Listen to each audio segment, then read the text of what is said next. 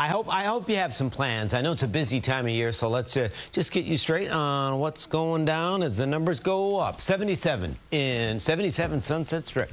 Numbers around the area 70s dominate mid to upper 70s. These numbers compared to yesterday a little warmer and dew points a little higher. So uh, for most reporting stations, it's a little higher. So you know what? it feels like summer. Dew points a little sticky, low 60s. I mean it's not tropical, but if you're out there really working out or doing some chores, having some backyard time, eh, you're going to sweat a little bit as we continue to climb. Peak heat likely tomorrow, but hey, it's the last full summer weekend because, yeah, even though nine days away till the equinox, we're still dealing with one last full summer. And, you know, September as a month, a lot of blue boxes. That means temperatures, not just the highs, but the temperature for the day has been below normal.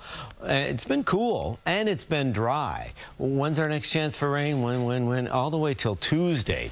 Tuesday, Wednesday, into Thursday. Dry through the weekend, first part of the week, and then we wait. Now, some of the this dry air has contributed to a slightly higher in the aggregate pollen count and grass, the key culprit there. The battle next week will be any of this moisture that can try to ride in from the south and west, battling this stubborn high that's been blocked in the atmosphere. The European model doesn't bring much in at all, but some of the other models are a little bit more bullish on some of that needed rain. Where is the rain right now? Well, not here. We've got that blocking high. The big view shows wet weather in the Rockies, and obviously you're drawn to what is left of Francine.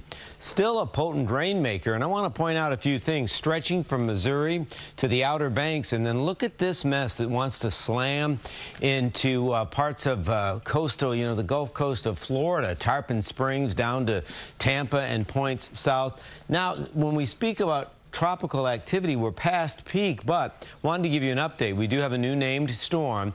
You'll be hearing more about Gordon over the next few days. It's got a lot of available fuel.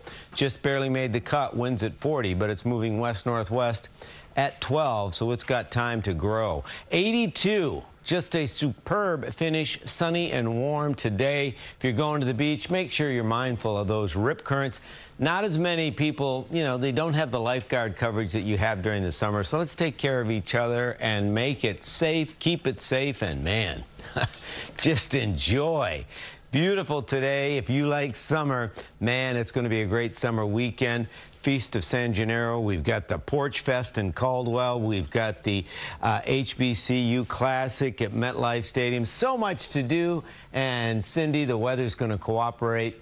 We'll let you know about that rain next week. Next week, Cindy. John, thank you.